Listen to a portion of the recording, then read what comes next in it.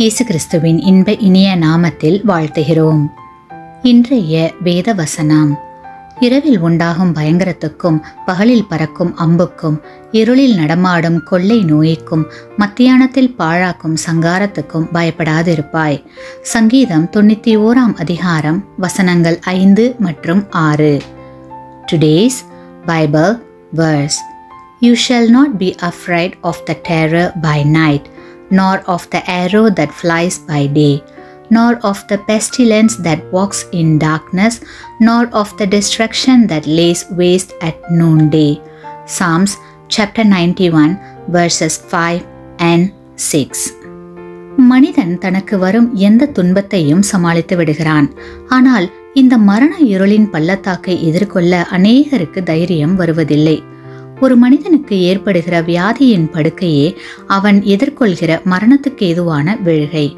தாவீது பக்தன் நான் மரண இருளின் பள்ளத்தாக்கில் நடந்தாலும் பொல்லாப்புக்கு பயப்படேன்.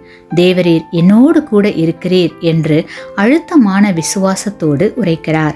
காரணம் அவர் விசுவாசிக்கும் தேவன் எப்படிப்பட்டவர் என்பதை நன்கு தெளிவாக அறிந்து வைத்திருக்கிறார்.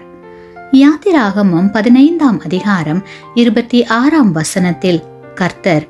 நீ உன் தேவனாகிய கர்த்தரின் சத்தத்தை கவனமாய் கேட்டு அவர் பார்வைக்கு செம்மையானவைகளை செய்து அவர் கட்டளைகளுக்கு செவி கொடுத்து அவருடைய நியமங்கள் யாவையும் கை கொண்டால் நான் எகிப்தியருக்கு வரப்பண்ணின வியாதிகளில் ஒன்றையும் உனக்கு வரப்பண்ணேன். நானே உன் பரிகாரியாக கர்த்தர் என்றார். எப்பேற்பட்ட வாக்குத்தத்தம் என்று பார்த்தீர்களா? ஆனால் இன்று அநேக விசுவாசிகள் ஆண்டவரை விட்டு வெகு தூரம் சென்று அவருடைய சத்தம் கேட்காமல் தேவனுடைய கட்டளைகளை கைக்கொள்ள மனதில்லாமல் வியாதியை பெற்று மரண அவஸ்தைக்கு உள்ளாகிறதை பார்க்க முடிகிறது. கிறிஸ்துவுக்குள் பிரியமானவர்களே தேவன் தம்முடைய பிள்ளைகளை பார்த்து இதோ நான் அவர்களுக்கு சௌக்கியமும் ஆரோக்கியமும் வரப்பண்ணி அவர்களை குணமாக்கி அவர்களுக்கு பரிபூர்ண சமாதானத்தையும் சத்தியத்தையும் வெளிப்படுத்துவேன் என்று கூறுகிறார்.